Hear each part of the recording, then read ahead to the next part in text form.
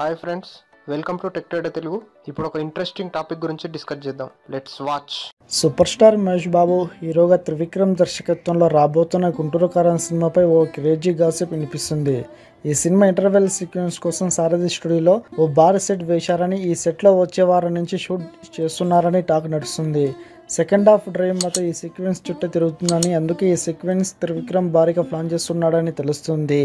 ఈ సినిమాలో మీనాక్షి చౌదరి పూజ హెగ్డే స్థానంలో తీసుకున్న సంగతి తెలిసిందే. అయితే గుంటూరు కారం సినిమాలో మీనాక్షి చౌదరి పాట సెకండ్ హాఫ్లో వస్తుందంట. కాగా గుంటూరు మిర్చి ఆడ నేపథ్యంలో ఈ సినిమా నడుస్తుంది. ముఖ్యంగా మహేష్ బాడీ లాంగ్వేజ్కి సరిపడే సరికొత్త స్టోరీతో విక్రమ్ ఈ సినిమా కథ ప్లాన్ చేశాడంట. పైగా ఈ సినిమాను తెలుగుతో పాటు హిందీ తమిళ కన్నడ మలయాళ భాషల్లో ఒకేసారి రిలీజ్ చేసేందుకు చిత్రబృందం ప్లాన్ చేస్తుంది.